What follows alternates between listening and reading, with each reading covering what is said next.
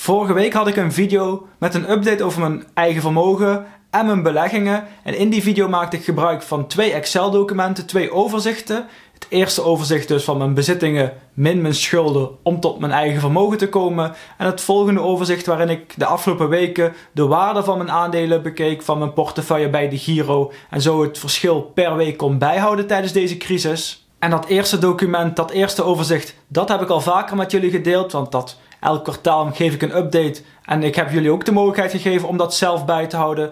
Maar juist dat tweede document had ik eigenlijk alleen gemaakt voor deze specifieke video om het inzichtelijk te krijgen. Maar er was blijkbaar heel erg veel vraag naar. Ik heb heel veel reacties gekregen onder die video via Instagram, via de e-mail waar je dit bestand kon downloaden. En daarom heb ik afgelopen weekend dus aan dit bestand gewerkt, er een Google Sheet van gemaakt, zodat jullie er allemaal bij kunnen. Ik zal trouwens een link daar naartoe onder deze video plaatsen, zodat je het zelf aan kunt vragen. Dan komt het per e-mail automatisch naar je toe. En in deze video gaan we gewoon stap voor stap bekijken hoe deze sheet werkt, wat je in moet vullen, welke effecten het heeft en hoe je dus alles bij kunt houden wat betreft de progressie, zeg maar de voortgang van je beleggingen. Nou, genoeg gepraat, laten we snel naar deze sheet kijken en beginnen met deze video.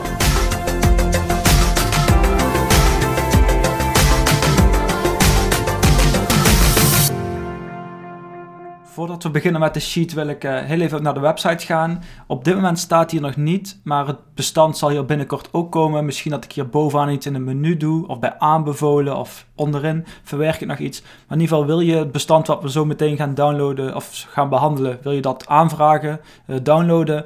Kijk dan in ieder geval in de beschrijving onder deze video. Ik heb wel meer bestanden die ik heb. Ik probeer die in ieder geval allemaal samen te voegen op één pagina, want misschien heb je interesse in dit bestand, maar ook wel in andere bestanden. Ik ben trouwens ook bezig met een, een dividendportfolio het maken. Dat was eigenlijk ook iets wat ik uh, voor deze video al mee wilde nemen, maar ik liep tegen een paar punten aan. Dat je hier heel vaak uh, dollars hebt en bij de Giro misschien wel vaak een aandeel in euro's koopt en dat soort dingen. Dus daar ga ik nog iets mee doen. Daar ga ik in ieder geval binnenkort um, dit bestand met jullie delen zodra alles werkt zoals ik het graag zou willen zien. En het bestand waar we dus vandaag naar gaan kijken is het, ja, ik heb het maar waarde van portefeuille genoemd in ieder geval um, aandelen die je hebt. En vervolgens per maand eigenlijk wat de waarde daarvan is. Um, in de vorige video heb ik het per week gedaan. Ik denk dat dat eigenlijk te veel is, zeg maar. Dat je te vaak bij moet houden. Maar juist gewoon één keer per maand dat dat gewoon goed te doen is. En ook interessant is ook voor lange termijn. Als je dan terug gaat kijken dat je toch genoeg informatie hebt om alles dus te zien. Um, ik heb hier al wat ingevuld. Volgens mij klopt het niet helemaal met de, precies de maanden, de laatste dag van de maand. Maar het is in ieder geval een indicatie om te kijken of alles werkt. En wat we in deze video gaan doen is dan ook deze laatste kolom eigenlijk, die in ieder geval nu in beeld is, de maand maart gaan we dan invullen om vervolgens te kijken of alles werkt en hoe dat eruit ziet. Nou, die gegevens die uh, kun je ook achteraf nog telkens downloaden. Kijk bijvoorbeeld naar de Giro, heb ik mijn portefeuille op dit moment openstaan. Dan zie je eigenlijk alle posities die ik heb. Zijn volgens mij dezelfde posities als die ik vorige week had. Ik heb niks gekocht. Misschien dat het iets uh, meer waard is geworden, dat wel. En dan zien we in ieder geval hier rechts een knop met export. Als we daarop klikken, kun je een datum selecteren. Um, en we willen in dit geval uh, maart in gaan vullen. En dan doe ik het al meteen verkeerd. Want ik moet 31 maart hebben. Ik wil de laatste dag van de maand hebben voor mijn overzicht. En vervolgens kun je klikken welke vorm je het wil in XLS of oftewel een Excel bestand. Dan kun je misschien alles snel kopiëren of PDF bestand als je het ook nog uit wil printen en op wil slaan. Uh, dat zou ook kunnen. Dus als je vervolgens dit aanklikt, wordt het bestand gegenereerd en heb je alle data die je nodig hebt vervolgens om het dus in te vullen. En laten we dan gewoon even de laatste kolom invullen met mijn gegevens. En gedurende het, het invullen zal ik dan telkens wat uitleggen. Um, in de eerste kolom hier vul je eigenlijk alles in welke aandelen je hebt. En je kunt hier dus ook uh, rijen toevoegen.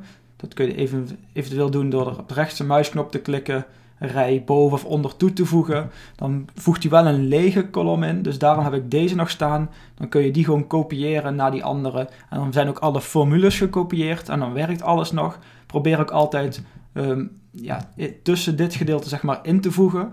Op die manier neemt hij namelijk alle formules mee en blijft het totaal de som van deze. Je ziet bijvoorbeeld dat die helemaal van boven tot onder rekent. Dus als je daar tussen blijft, dan blijven de formules ook telkens kloppen. Ook wel heel belangrijk als je je overzicht uh, actueel, maar ook juist correct wilt houden. in dit geval heb ik dus eigenlijk geen nieuwe posities, maar beginnen gewoon bovenaan. Ik pak mijn overzicht en ik zie dat ik 145 euro en 73 cent had op dat moment. We zien in ieder geval hier beneden al wat veranderen, want de totaal van de bovenste van mijn aandelen verandert. En hieronder heb ik trouwens een aparte categorie gemaakt voor indexfondsen, ETF's en REITs, dat je een beetje een overzicht kunt hebben tussen losse aandelen en misschien dingen, fondsen voor de langere termijn bijvoorbeeld. Nou, laten we dan mijn eerste positie invullen, Alpha. Hier in deze kolom vul ik telkens het aantal aandelen in. Dat waren er nog steeds 54. De koers of de waarde op dat moment was 1136,7. Uh,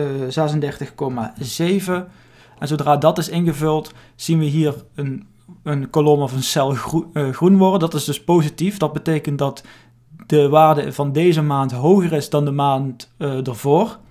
En we zagen juist in die maand dat het juist minder waard was geworden. Dus je ziet hier het percentage wat het veranderd is. Wanneer het dus groen is, is dat positief, is meer waard geworden. Wanneer het rood wordt, is dat negatief, is het minder waard geworden. En ook in deze kolom, en onderaan vind je dat telkens terug, uh, vergelijkt hij de maand waarin je dan zit met de vorige maand en laat hij dan het verschil zien. Laat ik dan even de andere posities invullen en uh, zo meteen een stukje overslaan in de video wanneer alle posities weer in zijn gevuld. Oké, alle dingen zijn nu ingevuld en we vallen een paar dingen op. Aan de ene kant, alles staat in de plus, dus dat is op zich wel positief, in ieder geval met die maand daarvoor.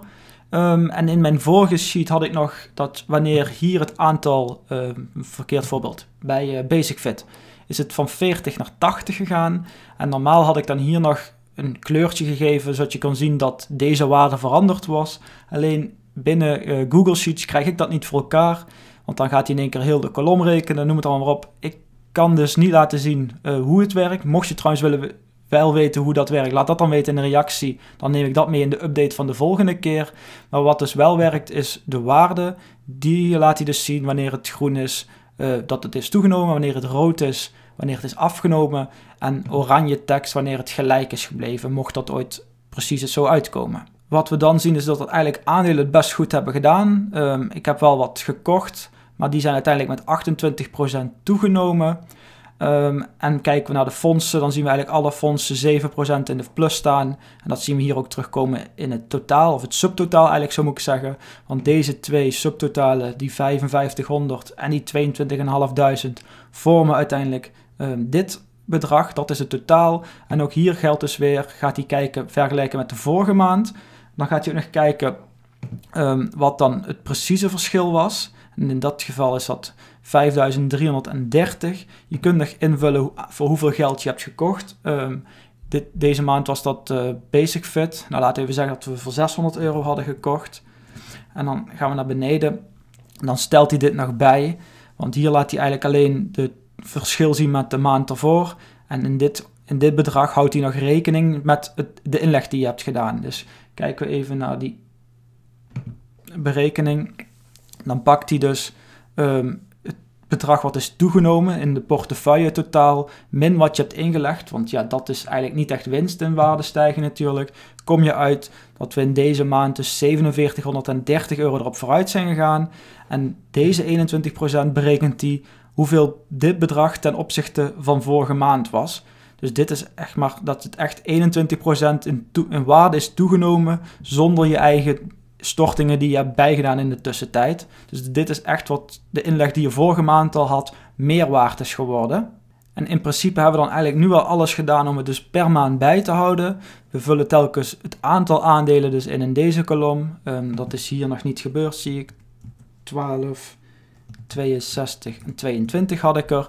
Dat vul je in. Je vult de bedragen in de laatste maand en dan gaat de rest vanzelf. En je vult natuurlijk nog in hoeveel je die maand hebt aangekocht. Is dat misschien 0 euro geweest of is dat 600 euro geweest? Dat vul je nog even in, waardoor eigenlijk alles berekend wordt. En wanneer je naar rechts scrolt, kom je alle andere maanden van het jaar tegen. En zo kun je eigenlijk het hele jaar dus alles invullen. Eventjes kort tussendoor. Vind je dit nou een leuke, interessante video? Geef zeker even een duimpje omhoog. Dan weet ik welke onderwerpen jullie leuk vinden. Kan ik daar meer video's over maken. Maar je helpt op die manier ook het YouTube kanaal. Dat meer mensen deze video te zien krijgen. En wil je zelf nog meer video's zien zoals deze. Dan ben je nog geen lid van het kanaal. Onder deze video kun je je eigen abonneren. Klik dan op het bel-icoontje om altijd weer een melding te krijgen als er een nieuwe video online staat. Dan gaan we nu weer terug naar de video.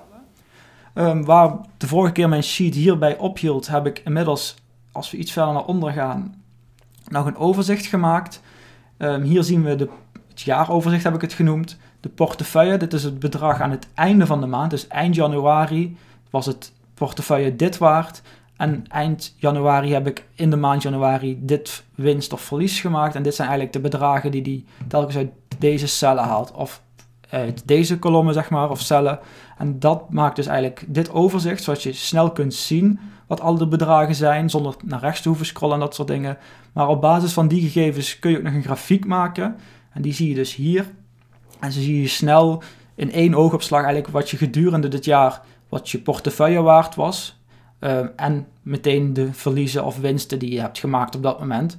Dus in de eerste maand zien we ja, eigenlijk gewoon die 27.000 euro of zo wat het was. Ook nog een groot bedrag daarvan was, was gewoon ehm, winst. Maar we zien dat hier het afneemt. En natuurlijk heeft dat met, ehm, met de winst of een verlies te maken in dit geval.